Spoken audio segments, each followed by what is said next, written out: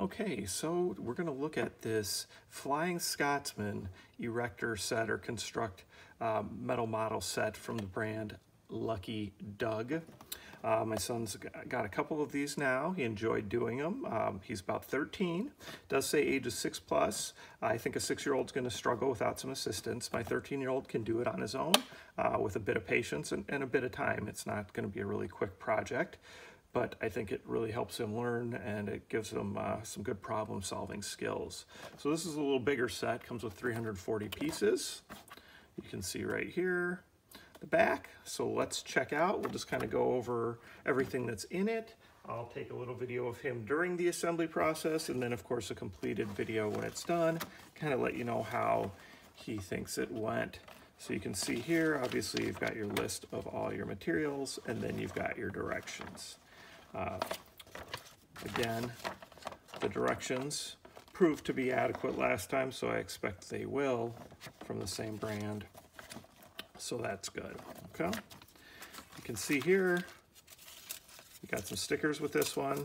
Obviously some of the larger pieces are not in bags. Everything else is bagged kind of in, uh, I guess it's kind of by size, I would say.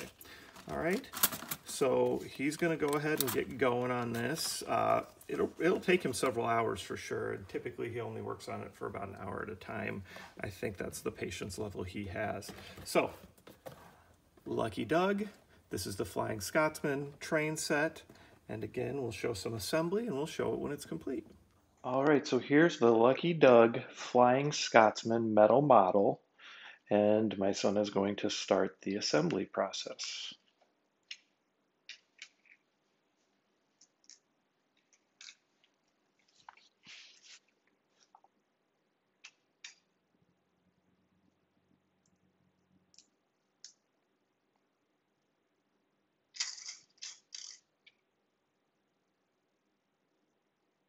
So you can see a lot of it can be done with your hands. You just get everything in place and start tightening it, and then you may need to use the tools to tighten things up at the end.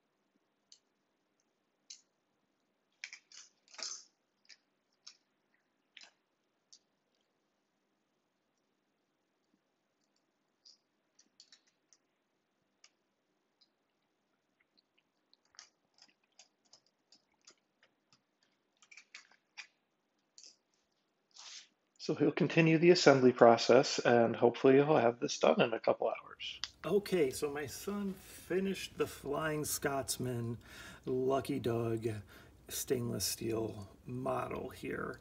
So it took him a while, took him, um, my son's about 13, took him probably three or four hours off and on. He can't sit there and stay focused for too long at a time. So definitely, you know, was a multi-day project for him.